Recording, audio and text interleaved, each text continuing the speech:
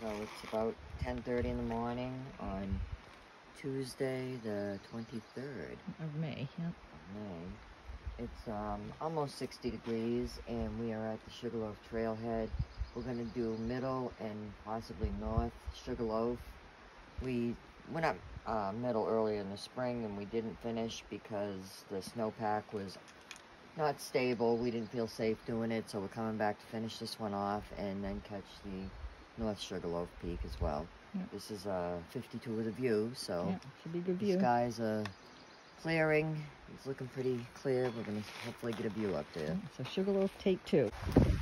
Always not too high in the river. Just have to cross over the bridge here and get to the beginning of the trail.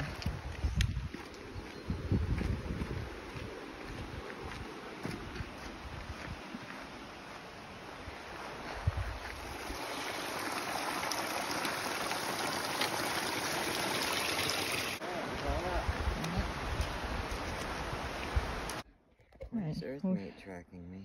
Oh, I don't know, but we forgot to uh, start recording the hike. We're a little bit in here now, but so. Oh, look, a trekking pole. Hmm. Let's see what it feels like. Oh yeah, light as a feather. Light as a feather. Take a picture of it. You can post it on 52 with a view. See if somebody wants.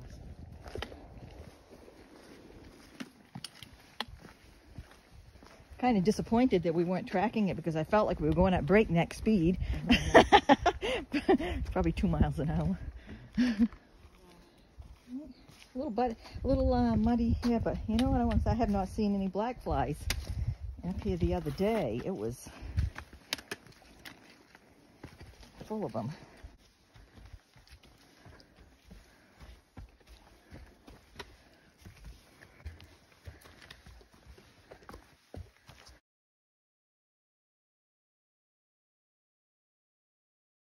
Recording. Mm. All right, so this is where you probably can't tell how steep it's getting, but it's definitely getting steeper here. And this was last time full of like mashed potato snow. And we walked up here a ways. and then we finally decided the snow was too unstable to come down. We had micro spikes on, but they were not really giving us any traction. It's definitely steeper than it looks on the uh, camera, I'm sure. But, and that's not saying it's crazy steep though, but with loose snow and us being old ladies, not for us. This came up a pretty steep stair, oh, steps, rock step section. I forgot to show it, but must be almost to the top now. But this is definitely a section that we did not do last time we were out here. All right, so we just came up to the split.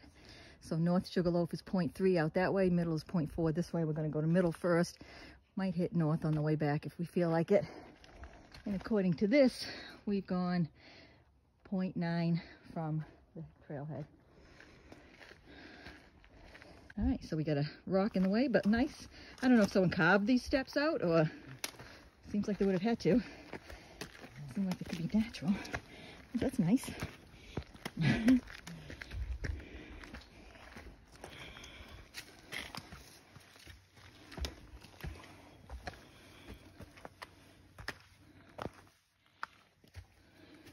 Overall, this trail, I would say, is a good beginner trail. Um, it's a lot of flat areas and then some of this, but it's not that perpetual incline that some of them are. That's the toughest ones. it's always a good sign that you're getting to the top when you start seeing the kind of slabby rocks.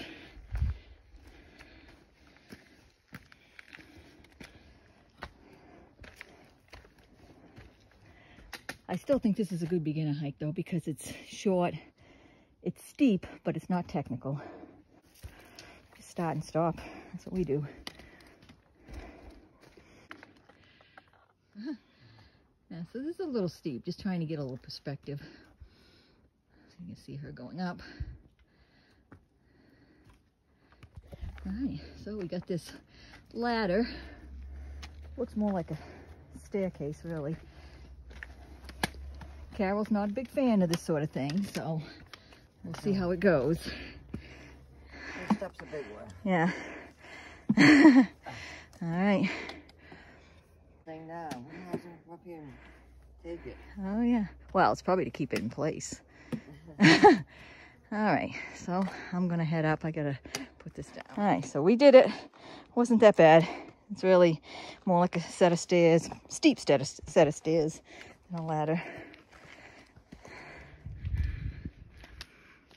All right.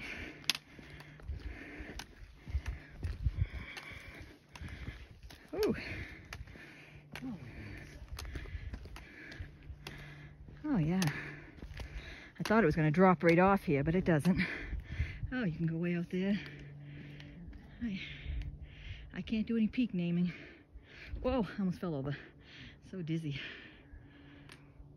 Aye. Beautiful. There's a slide over there. You know what, that looks like that guitar slide that Laura Soul just did. Oh, yeah, right there. Right there. It looks like it, like the big part in the neck. I'm pretty sure that's what that is. Yeah. That's cool. We just saw her do that yesterday. Big mountains over there. Yeah, yeah, lots of mountains. Possibly Mount Washington. Right there, I think. Get away from that tree. To the left of this tree. Think that's Mount Washington. The top is in the clouds. You can still see quite a bit of snow. Alright, so we're going to head over to North Peak. We just left the summit. There's a nice guy up there we talked to for a little while.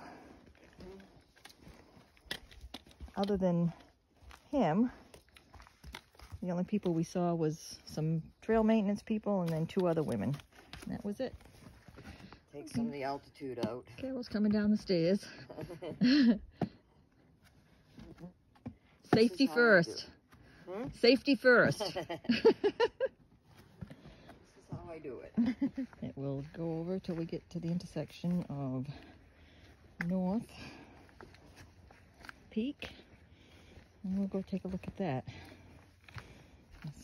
We saw a trail maintainer and she told us the view over there is um, really good too. So, Is that a Oh. crevasse? uh, something like it, I guess. it's pretty deep. I'd say it's a good, I don't know, eight, ten feet down there. Yeah, you don't want to fall in there. Big crack. this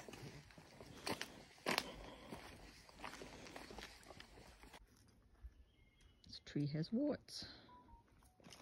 Yeah, look at this thing. Some different type of rock just sitting on top of there. Did it fall on there? Did someone actually put it there? huh. It's kind of neat. Apparently people go mineral hunting up It here. must be, yeah, because these, this looks like that big rock. that Yeah, so I think that big rock up there was some sort of mineral. So you're not allowed to have a pick hammer though. A pickaxe thing, eh, I don't know what you call that. Um, you'll be fined if you disturb uh,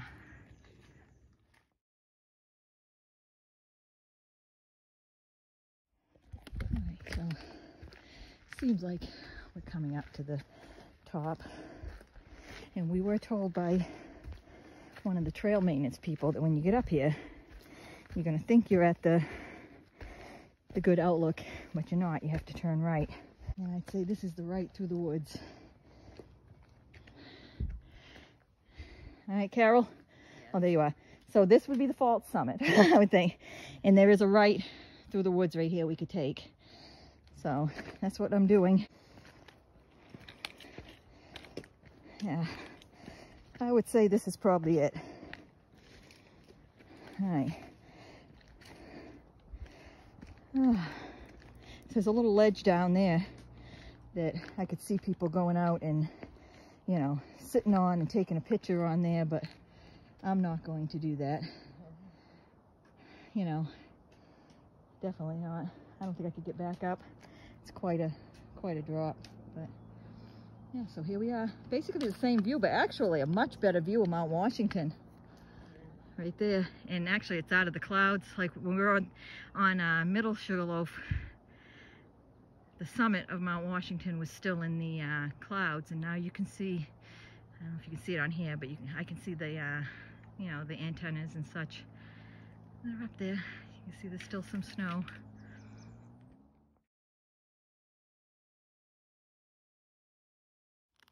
Alright, so we spent a little time here.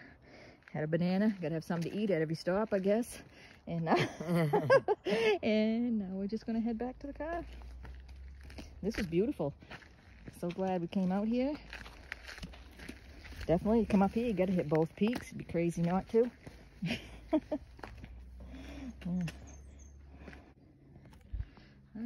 So now we're back out to the intersection of Middle Sugarloaf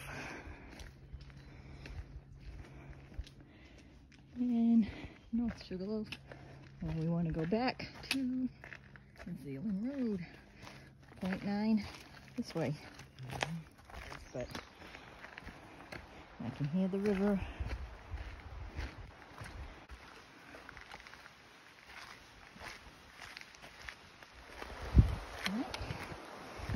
We're out made it back to the car. Hopefully no one robbed us.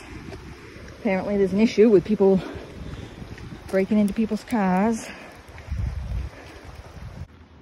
Okay.